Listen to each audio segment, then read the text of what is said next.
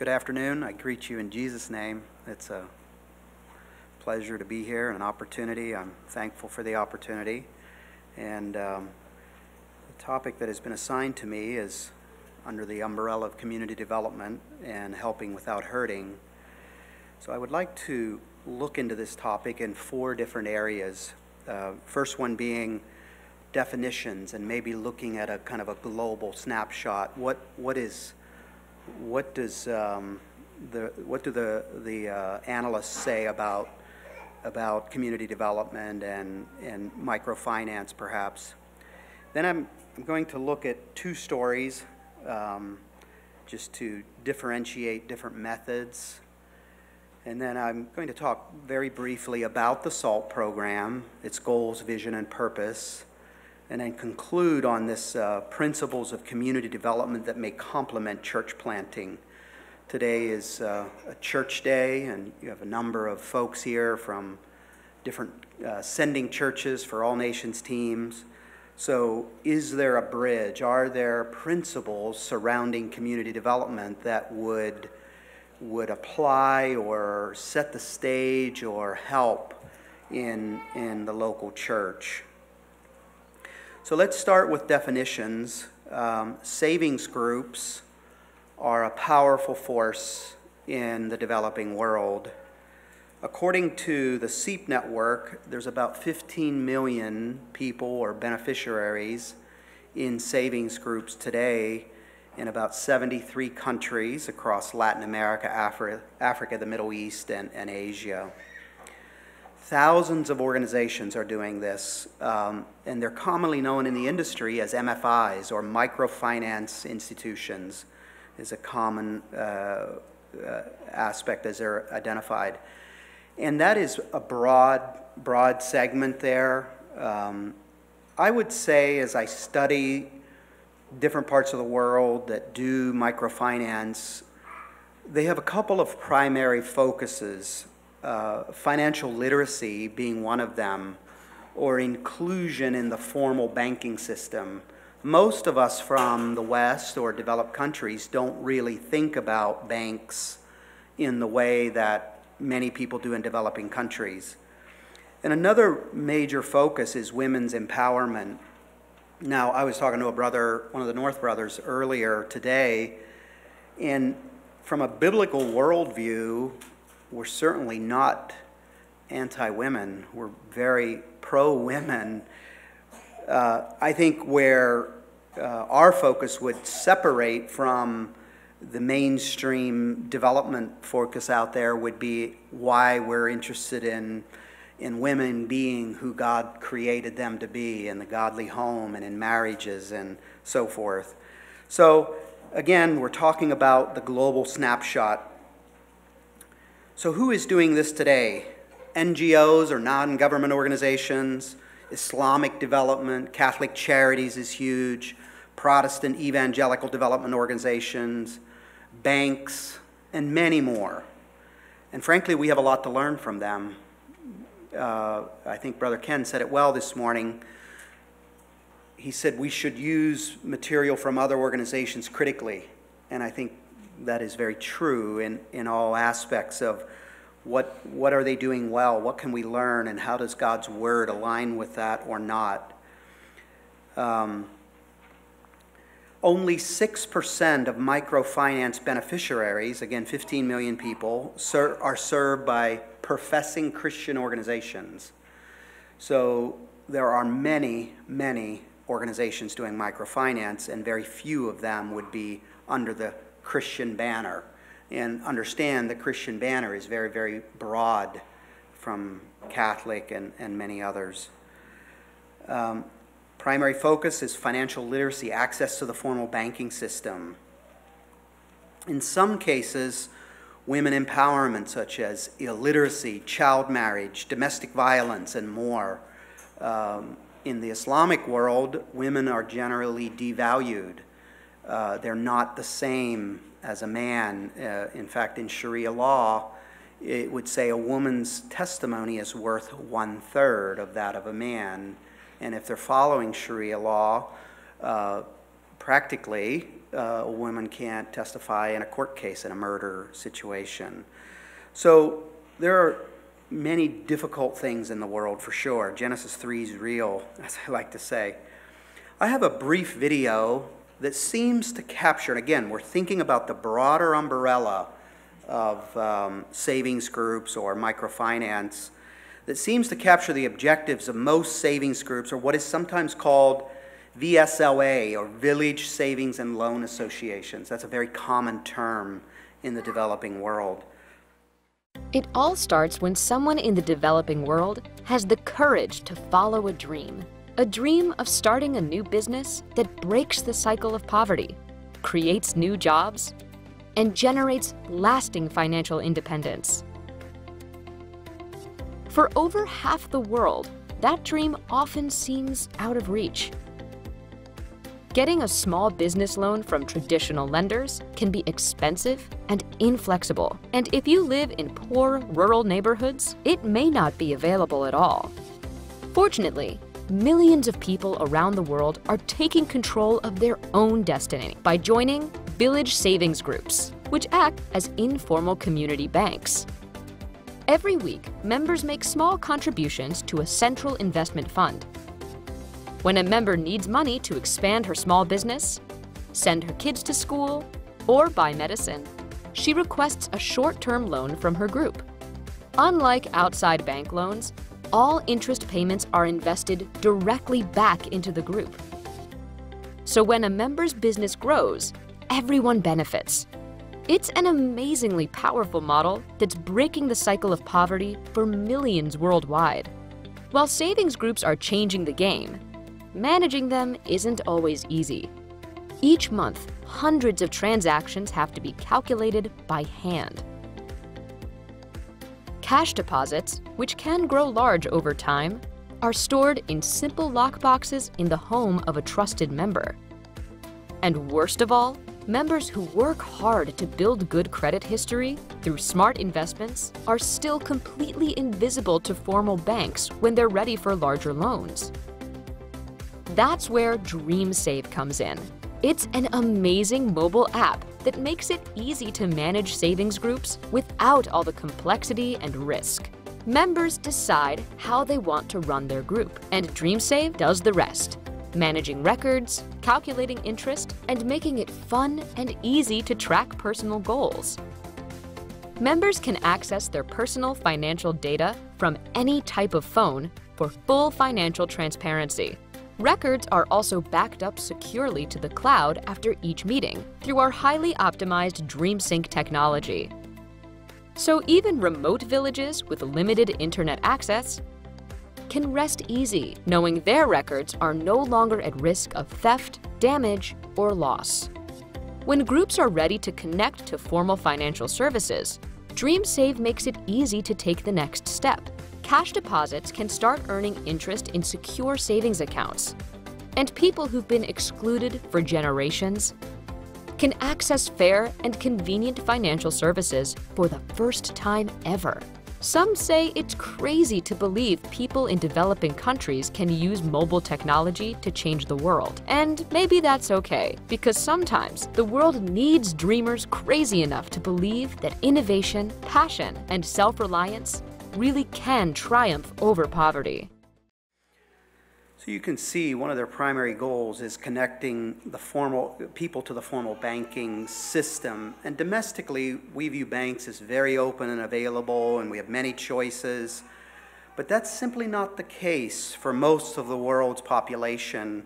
Uh, I've seen people stand in line for hours, come early morning, only be told no, and then they do it again tomorrow and the next day. In other words, using technology, they're able to record their village savings transaction to the formal banking, and eventually they can get access to formal banking. So here is what the mainstream organizations are not doing. They're not taking the tremendous opportunity of people coming together weekly, biweekly, monthly, and with frequent meetings to teach them about Jesus Christ. In some cases, there may be some small business teaching, but not so much. Mostly about financial literacy and access to the formal banking system. And this is a major differentiator between mainstream savings groups and the purpose of the SALT program. In fact, over the years, we've continued to receive requests for teaching content from professing Christian organizations. And we kept pondering, thinking about the millions of people that are gathering together on a regular basis. What an opportunity. So, we created this new seed sowing effort, you might call it, under the Good Steward International banner. And now, when people ask for teaching content, why not provide it? So, this thinking about these 15 million people in village savings groups that gather together every week or bi weekly in groups of 20 or 30 people, perhaps we don't align with these professing Christian organizations around the world in terms of doctrine or how we live out the Bible. But the goal here is to simply give them the teaching content, including all the resources and mechanisms to start a savings group, and they're using it. So, this is a new initiative, and we're starting with a professing Christian group in Western India. There's about 120 small rural churches with between 30 and 200 believers per church. 70% are women, and the churches have small women group committees, usually about 5 to 20 people and they have various activities such as scripture memory, study materials based on the Bible. Some do literacy classes. Some of these church committees are women reaching out to other women in India, of course, Hindu, but the teaching isn't really organized or very structured. So we're hoping Savings Group will draw other people into the groups. We're in conversations with a few groups from Indonesia as well and hope to start some marketing efforts to stateside mission organizations, uh, there's development conference like ECHO, Hope International, and, and others that we hope to use this content. So again, I'm going to move on now. We've kind of looked at the big picture landscape just very, very briefly in terms of, of um, what, how does mainstream, the, the, the mainstream world use community development, particularly from a microfinance perspective. And if you were here on Tuesday to listen to Billy North's topic, you know, by now you know, I think someone said it earlier, community development is a very, very wide uh, umbrella of things that can be done, whether it's appropriate technology, whether it's microfinance, etc.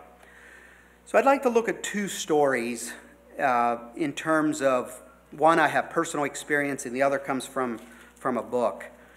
So I'd like to read a story from uh, Jonathan Martin from Giving Wisely, his book from Giving Wisely. Uh, Gary Miller quoted that in his Other Side of the Wall book, and there's just a brief story here. I'd like to, uh, to review that.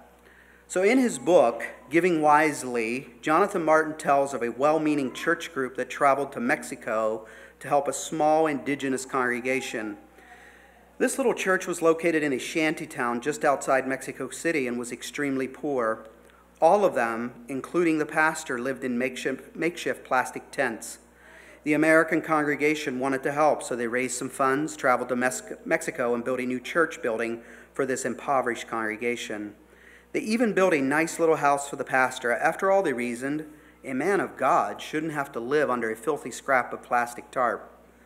This group of charitable Americans worked hard, and after they finished the project, they packed up their tools, hugged the, Mer- the Mexican believers they had come to love, and headed back north. For many of them, their lives would never be the same. They had seen a need, correctly realized they should share, and went to the rescue of this underprivileged church. Then they went home to show pictures of the project to the friends and talk about what a blessing it is to help those in need. But little did these Americans know that shortly after their vehicles were out of sight, the church members disassembled the very building the Americans had just constructed. Reusing the materials, they rebuilt the building in the way they really had wanted it, at the location they had wanted in the first place. But even worse was the long term spiritual effect on the church. Just one year later, this once thriving church was almost totally dysfunctional. How can this be? How could constructing a church building and a new home for the pastor destroy Christ's body in this particular area? Martin explains it in his book. First, it raised the pastor to a level higher than those he ministered to, creating an artificial inequity. Second, the building wasn't a product of the locals' vision, giving, and hard work. In other words, it had nothing to do with them at all, but everything to do with America. It left the locals wondering whose church is this anyway? Martin went on to say dissent broke out in the church because it looked like the pastor had sold out to the American ways and customs. There was suspicion he might even be receiving ongoing aid. Consequently, this once flourishing church was torn apart in the resulting turmoil. They were worse off than if help had never come. So, was the help about Americans or was it about the people they were trying to minister to? There's no question the foreigners had good intentions. But perhaps they didn't take the time to learn from the indigenous people. So, what could they have done differently? Perhaps this is something you can think about in your own work and ponder. I strongly believe, agree with Brother Ken, that we have much to learn from history, from the early church and everything in between to today. I don't have all the answers, but we can learn. I'd like to go to Asia now in another story. It's a local church, country in Southeast Asia. This brother learned about Christ from an indigenous believer from his community. They decided where and when they will hold worship services. Worship services are in their homes and in small offices that are used for community development because there's many people there all the time. The natives, the, the community around them never knows when they're gathering to worship or gathering for an educational class. They usually sit on hard concrete floors in small circles for worship. This man's name, I'll call him Hamid. A few months ago, when my wife and I visited seven different Anabaptist missions scattered throughout Asia, I had the opportunity to sit with him and talk to him. And he started by sharing about his growing up years. Hafiza Madrasa is what he attended when he was young, and Hafiza Madrasa is a school that is no academics, it's religious only. And he talks about memorizing the Quran in the Arabic language. And he shared about regularly getting beaten by his teachers for things like using English words, reading, reading the newspaper, bringing a badminton racket to school, or not having the proper Islamic dress.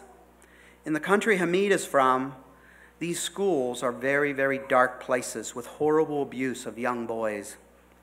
Hamid told me his home life was very difficult with angry and aggressive parents.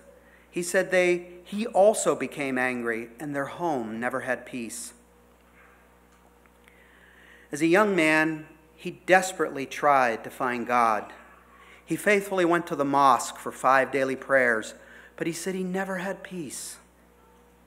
And he asked many times, Is there a way to know if man has salvation? And as he became a more devout Muslim, he became involved in radical Islam. He was actually following his faith's tenets.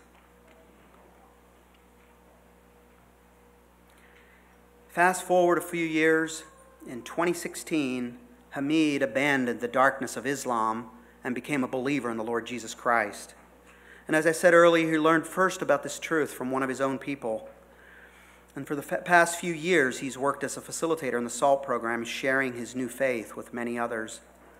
And as I've walked with Hamid over the past few years, he's an inspiration to my own faith. I know I have many things to learn from him on how to share the gospel with my neighbors and my coworkers and the person at the grocery store or the market.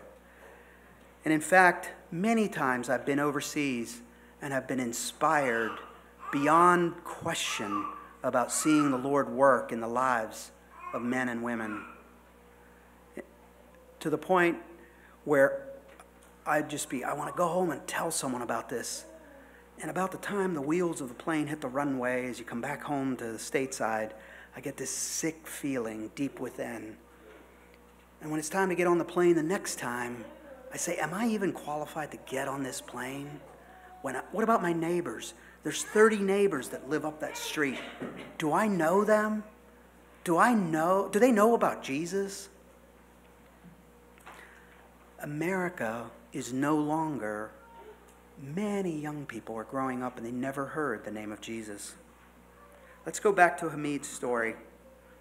Today, he's 28 years old. He recently married this young Christian lady who is in her early 20s. She's also a Muslim background believer. Earlier this year, Hamid was ordained as a pastor to lead a small house church of 33 believers. He is joined in leading this church with a deacon that was ordained about a year earlier. The question is will he remain faithful long term? Will he continue being open to discipleship and discovering the gospel? Only God knows. Why be faithful? Will you be faithful? I do know this the missionaries walking with these saints have a tremendous burden for ongoing discipleship and discovering the Word of God collectively. And that's a journey, it's not an event. And you know what? It's lifelong. The Lord calls us home. So, helping without hurting is the goal. What can we learn from these two stories? I would be interested in hearing from you about this as we continue talking. I'd like to move on talk a little bit about the SALT goals, vision, and principles. How does SALT do community development? And how is it different than the thousands of organizations we briefly reviewed at the outstart? Or that the biblical principle of community development, we actually do help in lieu of harming. You know, sometimes in my work, I work with many missionary organizations and I hear this refrain frequently We'd like to have a missionary work so our young people can go and serve. And I think that's honorable, noble. But my question for you is is it about the Americans or is it about where we're going? And that is a big question. If you filter, if you look through the lens, who is this about? That changes a lot of things. SALT is an acronym Shared Accountability, Lending, and Teaching. What's its purpose? Share the gospel with unbelievers, happening today in Muslim, Buddhist, Hindu, animist settings. So, again, people that don't know about the Lord Jesus. Another goal is frequent teaching meetings to help professing Christians learn what it means to live out Jesus' teaching in daily living. On that point, we have a small salt program in the country of South Sudan. South Sudan is a very, very sad place, tremendous needs. And when we first started researching in South Sudan, we asked them, What do you need? And in most developing countries of the world, they'll say, they'll have an object, something. Give it, and life will be better. These people ask for teaching. I don't have time to talk about the tremendous needs in that place. But they started the SALT program, they started coming together, having regular teaching. And here recently, one of our staff members was back in the country, had a savings group meeting, they had teaching, and this, this South Sudanese woman came up to our staff member and she said, Do you know it says in the Bible it's wrong for a man to divorce his wife and marry another? Do you know that? Her pastor was standing beside her. So, in many places in the world, particularly in Latin and Africa, many hands would go up if you ask, Are you a Christian? So, one of the goals of the SALT program is what does it mean to follow Jesus Christ in daily living? The other goal of the SALT program is to help people afflicted in chronic poverty better provide for their families in a sustainable way, reduce suffering show the compassion of Christ. One of the most difficult things I wrestle with in the developing world is seeing unmet needs for children. Seeing a child suffer for lack of basic food, shelter, health care, education. That just hurts. Why? Why are, why? A few years ago, my family and I spent some time in a country in Southeast Asia. And about a week before we were fixing to leave, our young son was sled riding and broke his leg. He broke the tib and the fib right above his ankle. And um, the doctor set his leg and should we go? Should we stay at home? Should we delay? The doctor said, no, I think you can go. So we did. And I carried my son all through the community as I went to market, and I had this little umbrella stroller. And I had many, many people come to me and ask me a question. They asked, they said, Will he become well? And it took me a little while to understand what they were really asking. What they were really asking, Will your son be a cripple for the rest of his life? That's what they were asking. Because in that country, just because there's health care doesn't mean it's accessible. You need money to be able to get treatment. You need money to be able to set a cast on a leg. How many people do you see, beggars, just deformed? Basic health care would have helped. I know one day the Lord's going to return and make that right again, having children suffer. But in the meantime, can we provide some teaching so a man or a woman can better provide for their family? Now, a moment ago, I said we focus on chronic poverty. Let's look at poverty a bit. Critical versus chronic. What's the difference? Now, before I talk about this, I'd like to say this. I believe that each one of us have some poverty in our lives. My life doesn't line up with this book and there's not a one that does. Can I recognize the poverty in my own life? Is that possible? I know I have poverty in my life. So let's look at critical poverty. This is a picture from Nepal. There was an earthquake there a few years ago. Now, if I look at this picture for a bit, and I'd say, I'd run up to this man, hey, I have just what you need. I have a teaching program. That would be silly, wouldn't it? He doesn't have food, he doesn't have water, he doesn't have shelter, he doesn't have health care.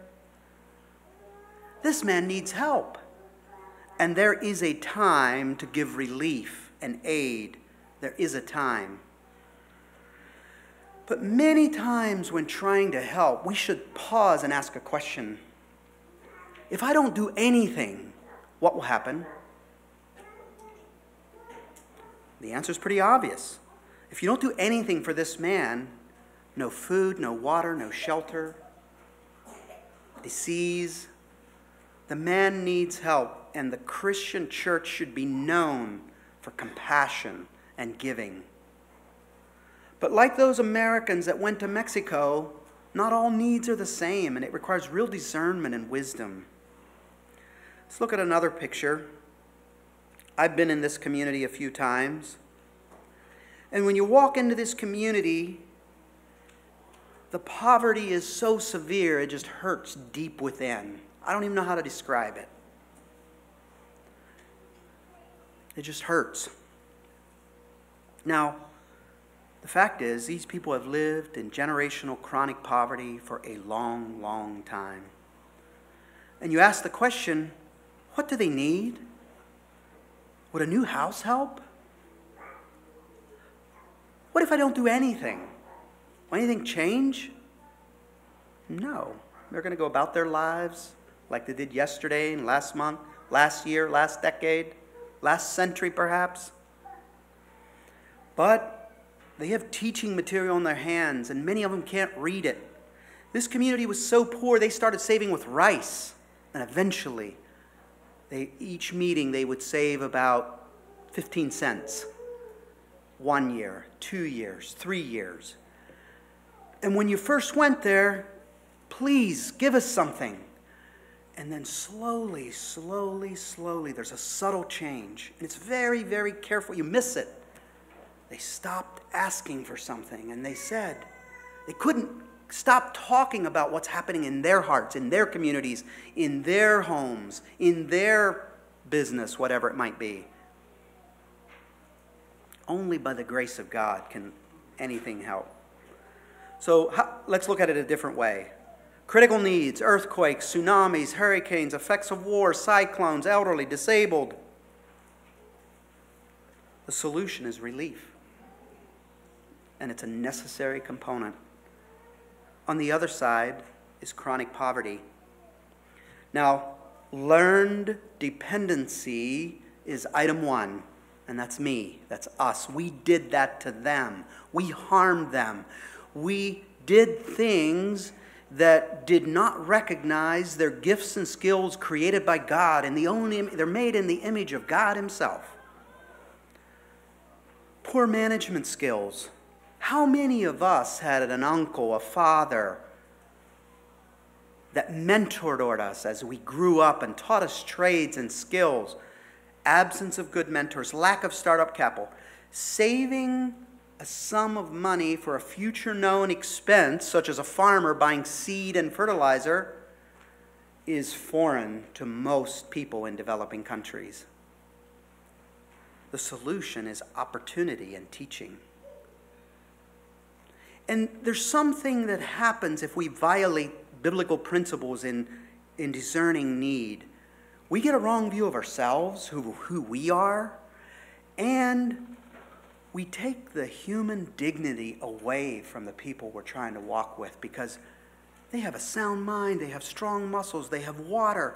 What if, when you're a newcomer, wow, they have this, wow, they have that, in verse, instead of, really? They don't have this, they don't have that? Let's flip it on its head and look at what they do have. There's five different aspects of the SALT program. Microloans is no longer a focus today, it's only operating in a few countries. Savings groups is by far the workhorse, extremely effective. There's no financial money that's given to the community and the villagers or the beneficiaries. Working with farmers, AgriPlus, uh, vocational schools, teaching trades. In Uganda, there's a welding school. Um, in Ghana, there's an automotive school. In Bangladesh, there's um, uh, sewing, tailoring classes, and uh, computer classes, etc. So there's again, young people, teaching them life skills. Today, there's a little over 50,000 beneficiaries worldwide, uh, operating in about 16 countries. And, you know, we keep track of the hours of teaching. The far right, you can see in, 20, in 2018, there were about 37,922 members, beneficiaries, if you will. And today, that's a little, I think this is dated a little bit, it's a little over 55,000 right now. So you can see a little breakdown. Vocational teaching is very small. It's a fairly costly endeavor. AgriPlus, 6,000 uh, farmers. Um, microloans is actually is only operating in Ghana and uh, Nicaragua today. Youth savings, tremendous opportunity with youth. Where does SALT operate? the numbers after the country name is how many different Anabaptist missions that are working there. Bangladesh, there's two different missions. Cambodia, um, there's another one that's looking to start in Cambodia. Ghana, Haiti, Honduras, India. These are alphabetized. Myanmar, Nicaragua, Niger, Nigeria, and Namibia, South Sudan, Tanzania, Uganda, Ukraine, Zanzibar, and the stateside program reaching out in our own communities. Haiti is by far the largest. Bangladesh would be second. Ghana, Nigeria would be in similar size. Starting in a new country usually takes a few years, working with mission boards, field staff, orientation, in country government approvals, coordination, translations of teaching material, record keeping documents, etc. Okay, the last item I would like to look at as we conclude is to see if community development principles could complement church planting. Is that possible? Are there some things that we endeavor to do and learn in community development that could be a blessing as people come to the faith and or maybe look at the Bible in a new way and say, I like the South Sudanese woman. Did you know the Bible says that? I believe community development sets the groundwork for church planting, very active in the community, working with the natives. One of the things that community development or, or savings groups particularly does people are already familiar with assessing God given gifts in daily living. And then it's a smaller step on following the Bible and how to build biblical church life. In other words, we always say in community development, let's, let's take at least a minimum of five year view, ideally 10. It's going to be a long journey. And the changes are so incremental, and a lot of times they miss them. So we have a whole host of things built in to get people. Do you remember what she said a year ago? Look what she's doing today. You remember what he said? And just call those things out. But in many contexts in the world, they're not familiar with evaluating those things. So, community development or savings groups, particularly in weekly frequent teachings, help them evaluate these things. And if they become a believer and they open Matthew chapter 5 and read on the Sermon on the Mount, what does that mean? Now they're well suited. They've had years of, of evaluating that. And what it tends to do, the missionary's focus changes from building church to calling indigenous believers to discover the Bible. I've seen that happen again and again. And after all, is there anything more that we as foreigners can do other than lift up the Word of God? All of it, the whole Word of God there are organizations that explain away. God help us that we don't do that. That's what it says. How do you, uh, what, what does that mean? And ask them the questions. Now, you might think that I believe there's nothing we can do as foreigners. No, I, I don't think that at all. I think there's a lot we can do. And here's a key I think that is very important, and that is if we think about Anabaptist communities and churches stateside, one thing I believe we should share in humility is the process by which we take biblical principles and make group application to those principles. I believe we should share. Because that's one thing that the Anabaptist communities have done over long periods of time. Here's what it says how should we apply that to our body, to our fellowship, to our believers, and then hold each other accountable to that? I believe that is a process by, that we can do. And SALT savings groups, the inherent attributes of self governance, creating bylaws, group discussions of important issues, submission to group voice, and leadership can be a helpful pattern for disciplined church life. Now, perhaps we could create the perfect church planting course, all nations could, have the, the, the beautiful recipe, we do these things and we get that result. Maybe. But one journey I've been on more recently is I believe we should endeavor to do that. But absent the Lord's leading in moving souls, whether we have a slipshod plan or the best refined that we fasted and prayed on over for years, we need the Lord. Absent the Lord, it's of no value. So I don't think we should be careless or sloppy, but at the same time, recognize our limitations and our inability I'd like to conclude with a story from this past January and February. My, my wife and I and our two youngest children um, visited seven different Anabaptist missions in Southeast Asia. And as we visited each community and walked with the missionaries there, they shared about what was happening. I would, I would get so inspired. I'd say, wow, that's amazing, seeing what God's doing here. And we'd move on and go to the next country. And then I'd hear it again. And after a while, about halfway through that trip, the Lord is working in every country, every community around the world, in spite of us or because of us. How do you want to say it? I believe that for us to think that if we have the proper formula, everything's going to work well, and absent the proper formula, things aren't going to work well.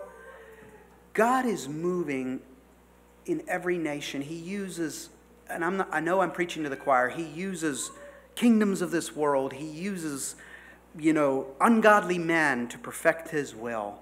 And may we be in tune close enough to the Holy Spirit and God to be able to know where we should step forward in faith.